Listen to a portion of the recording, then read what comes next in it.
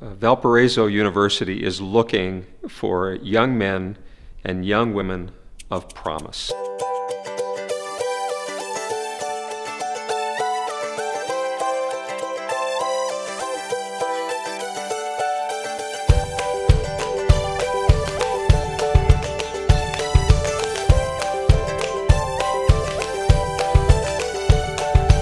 Well, I think that what one has here at the university is a sense of meaning and significance and purpose rather than just with a set of uh, particular ambitions. Leadership and service combined is probably at the heart not only of what we mean by our Lutheran character, but at the heart of what makes the education we offer here uh, strong and distinctive.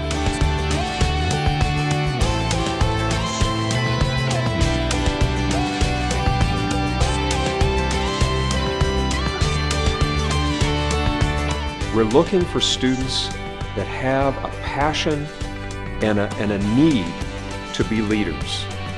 We want to see evidence of that leadership in how perhaps you as a, as a young person have uh, shown leadership potential in your church or in your school or in your community. We really want people who want to be leaders and want to understand what that means and the responsibilities that go with leadership.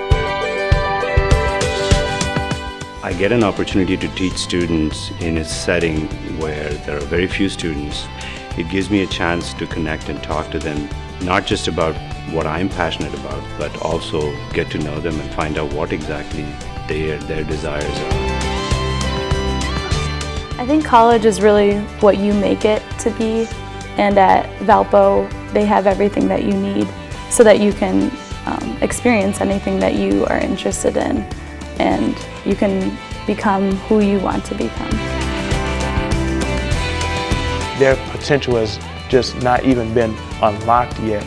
That giving them this Valpo experience will be just the thing that will help them move um, to the next level.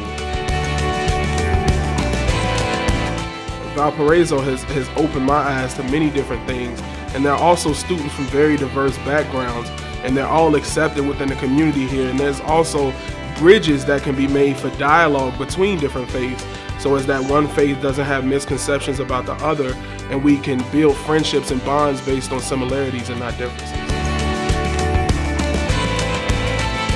If you have a passion to serve, a desire to lead, and you want to be challenged academically in a rigorous environment, then we're looking for you. And we want to invite you to be part of Valparaiso University.